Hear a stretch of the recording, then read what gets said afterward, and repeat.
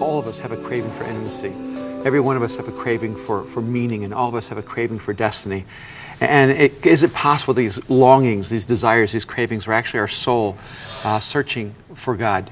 I mean, when I was uh, 12 years old, I, I, was in a psychiatric chair, and I uh, was in and out of a hospital because I was a pretty broken, damaged human being. And what I think is interesting about all of us is that we are so desperate for some things, we'll even damage ourselves to try to get them, and love is one of them.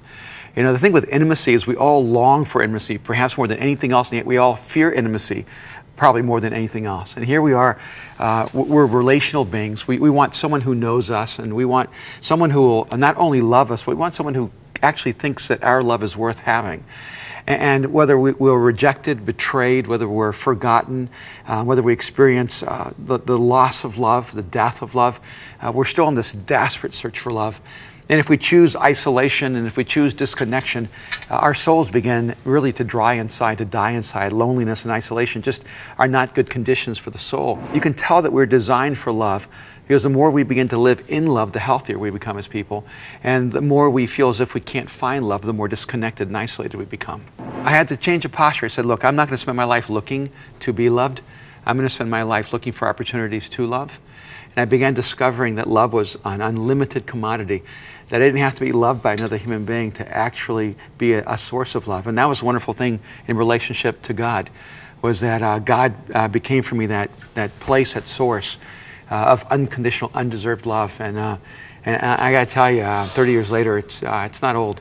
I just decided the best way for me to invest my life was in people who are maybe more damaged and more hurting and more broken than me. And you can develop an incredible sense of gratitude when you're working with people who um, are in a more desperate state than you. I remember as a kid, I had this intense burden uh, for humanity to end poverty, to end hunger, uh, to try to make a difference in the world.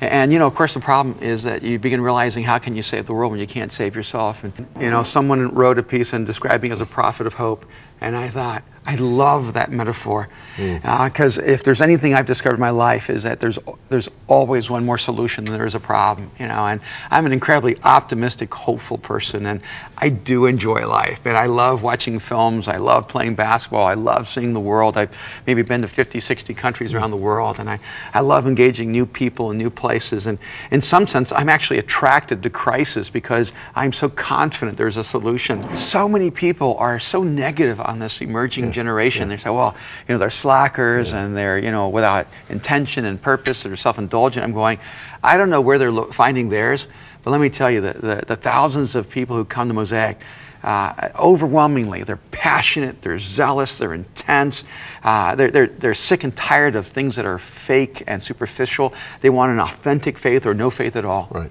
And uh, they're willing to lay their lives down right. and risk everything. And I, I, I, love this generation because they, they remind me what it looks like to be alive. Meaning is more than just some kind of um, dogma. It, it, meaning is more than an apologetic. Meaning is, is not simply a philosophical search. What we're all searching for is not simply truth. We're, we're asking, can anyone be trusted? And that's at the core of all this. And we're trying to live a meaningful life. And in that meaningfulness, we begin to, to have meaning.